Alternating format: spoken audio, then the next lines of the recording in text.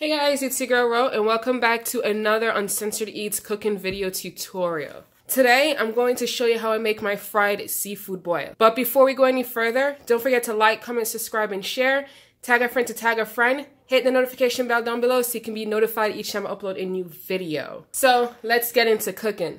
So today, as mentioned before, I'm doing a fried seafood boil, and I am using different seafoods. So I'm using butterfly shrimp that I just butterflied not too long ago. I'm making calamari. I have the body of the squid. I have the tentacles of the squid. I am doing fresh codfish. I got some U10 scallops, baby octopus, and I also had two lobsters and I took the body part of it and I cut it in half and this is what I did to it.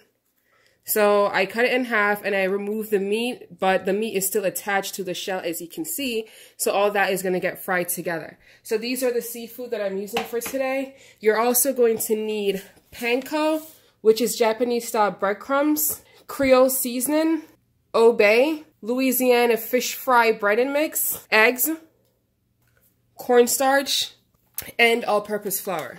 Also, you'll need a baker's rack and a sheet pan. Uh, you can buy both of these at a store called webrestaurant.com. Um, that is where I purchase all my kitchen gears. I'll put the link in the description box down below, so please don't forget to check that out. This is where we will rest or breaded seafood, and also where we'll rest or seafood once it is fried and done. The reason why I'm using a baker's rack and a sheet pan to hold my breaded seafood is to let my seafood air dry before I fry it. That way there's not much moisture on my seafood. Also, I'm using the baker's rack and the sheet tray together for my finishing product. That way my seafood is not sitting on just paper towel and it will also help all the excessive oil to drain out and to help keep my seafood or any frying product even more crispier. So my secret to frying chicken to frying pretty much anything, I always use 50% blended oil, 50% peanut oil. I choose peanut oil because peanut oil is filled with flavor. Uh, it also helps your finishing product not to be too soggy or too or too dry so it locks the moisture in and it gives your fried chicken, your fried seafood, fried beef, anything, a really great taste. Also, another secret of mine that I usually do when I fry, I always season my oil. So as you can see right here, my oil is hot by the way. I am using Jamaican Scotch bonnet pepper. I have allspice berries in my oil. I also have four cloves of garlic that was sliced in half and all that is just sitting in there. It's heating up. It's getting hot. It's going to flavor my oil even more. Stay tuned until it's time for us to start breading. So let's get started. We'll start with our all-purpose flour and we'll dump some flour in here. You need three bowls or three different containers. There have to be a bowl, just use what you have. But you need one for your breadcrumbs, one for your egg, one for your flour. Your flour is for dredging. Then you add it to your egg mixture, then you add it to your breadcrumbs but you'll see the steps as we go along. Also, you're going to need cornstarch. I like adding cornstarch to my flour whenever I fry because it gives it a much crispier texture. I am just making a huge mess on here, but that's okay. So we're going to mix that in a bit. And we're going to season our flour with some salt, black pepper, garlic powder, and onion powder. We are also going to add our Louisiana fish fry mix, and we're just gonna dump a little in here. I'll put the recipe in the description box down below so you can know what my measurements are. So with all the ingredients in here, we're just going to mix it up a bit. And we want to mix until the entire thing is combined together. Okay. Now that our flour is all ready to go, we're going to move this over. Add our Japanese style breadcrumbs in our bowl. this one is a, is very, very flaky. So that's what it looks like. It is your choice. You could smush it down a bit the way I'm doing it. Or you can leave the breadcrumbs the way it is. I like to crush mine down a little bit. Only because when I do that, it covers every part of my seafood or my chicken or whatever it is that I'm frying. And now that's semi-fine, I'm going to add Creole seasoning.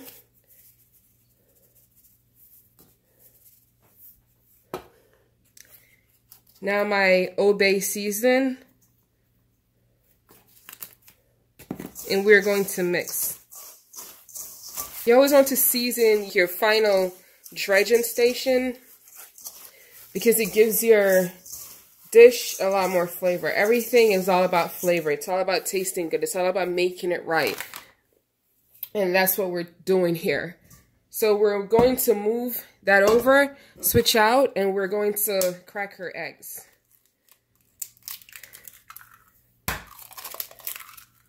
Here's a trick. If you ever get, I purposely added the shell into the egg.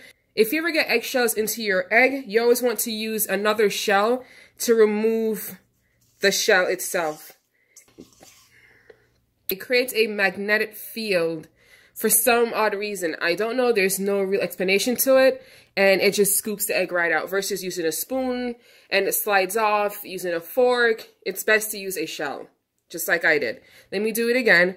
So you want to take the shell to take the shell out. Voila. Now that our eggs are cracked, I am going to start whisking.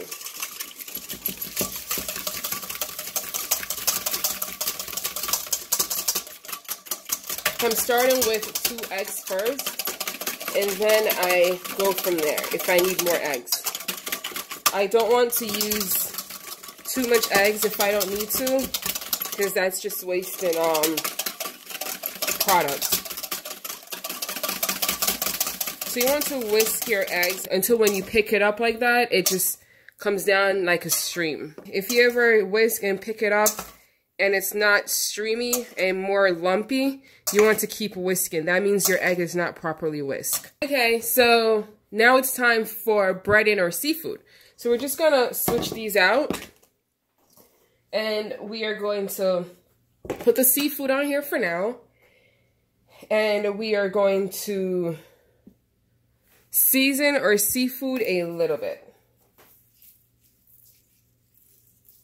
So you want to add a little seasoning to your seafood. I used a Creole and now I'm using Old Bay. Okay. I'm going to start with my shrimp. I have a big bowl, so I can pretty much add all my shrimp in all at once.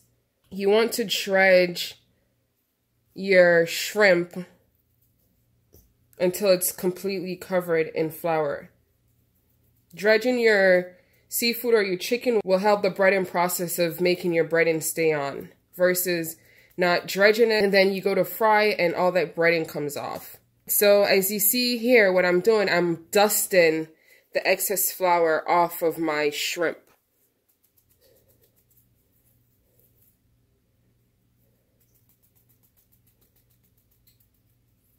I like to um my dredging first and then I move into my egg mixture. It's just my professional way of working. Now I'm going to go into my scallops.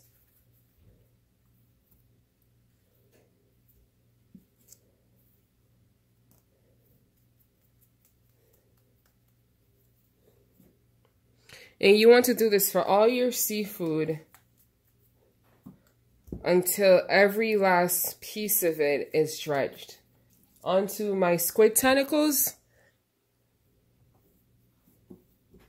When I cleaned my seafood, I cleaned it with like a little vinegar and a little salt. And then I put on a paper towel to dry. And then I also blot dry. Then I remove the paper towel and I let it air dry to remove any excess water. The last thing I need is my seafood to be waterlogged and soggy as a finishing product after it's fried.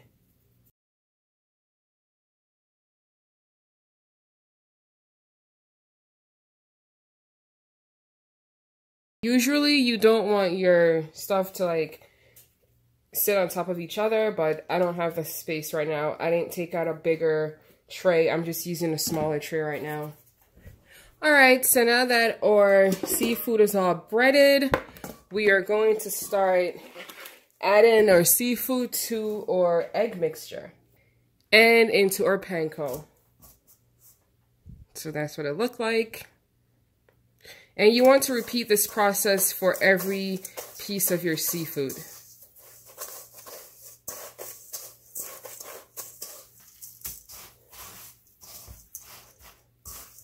You could add a bit of panko to the top and smush it down a bit. That way your seafood is thoroughly coated. So that's what it looked like. And I'm just going to move this piece of cod onto here.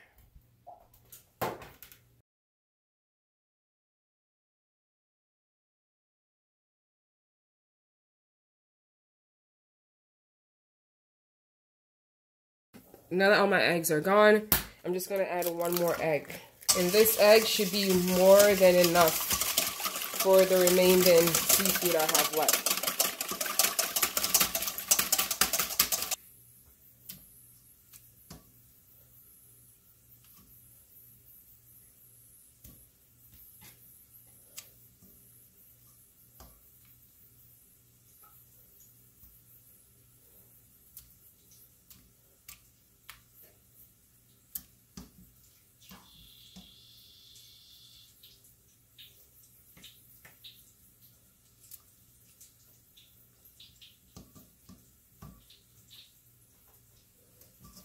Breading is starting to become clumpy. After breading my octopus, I will change my breading out. Once your breading start to become clumpy, it would start making things a lot harder to bread than when you first started. We're going to do the exact same thing we did the first time.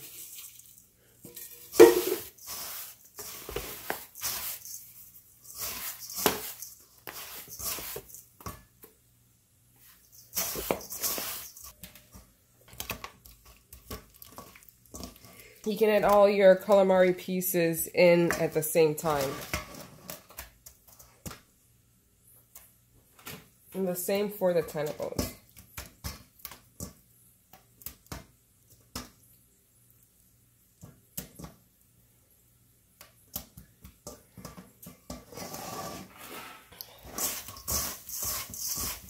And with this, you just want to toss it around. And you do the exact same thing to the tentacles.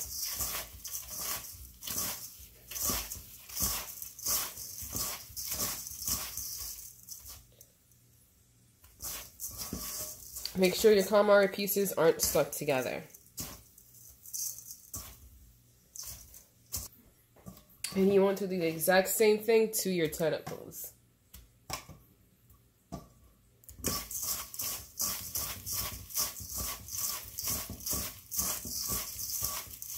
Oh my god, wow. So it looks like her oil is already there. So let me put my my thermometer in and check the temperature.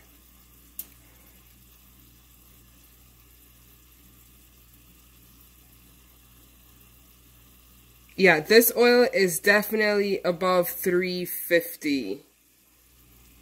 The highest my thermometer go is 220. So it is definitely above 350. I'm going to remove my pepper, my garlic,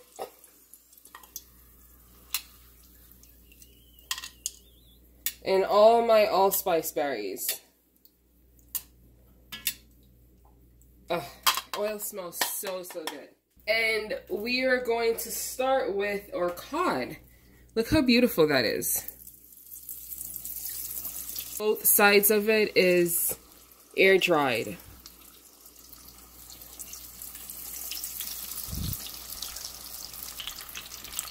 And you just check in our little friends. Oh, wow, look at that. Look how beautiful this looks. Oh, look at that. We just, oh, wow. We just started putting that there. Oh, wow. Look how beautiful that is. Let's do the same with the shrimp.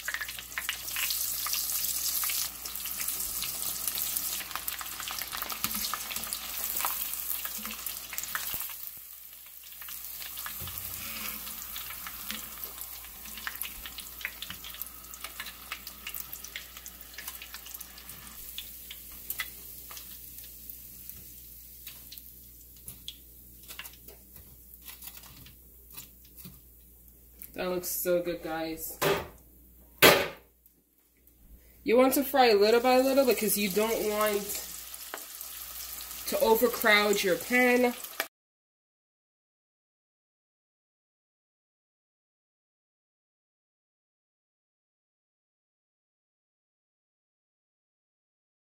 So that is it guys. This is the finishing product. Look how good that looks. Oh my god. So let me tell you what I have. I have squid right here, also known as calamari. The the the body. I have the tentacles. This is fresh fried cod. I got lobster tail. I got butterfly shrimp. I also have scallops and baby octopus. That looks really delicious. Really, really delicious. So that is it, guys. Please don't forget to like, comment, subscribe, and share. Tag a friend to tag a friend. Again, it's your girl Ro from Uncensored Eats. Thank you for all the love and support. I hope you guys have a great day, great week, whenever I post this video. So until next time, guys, bye.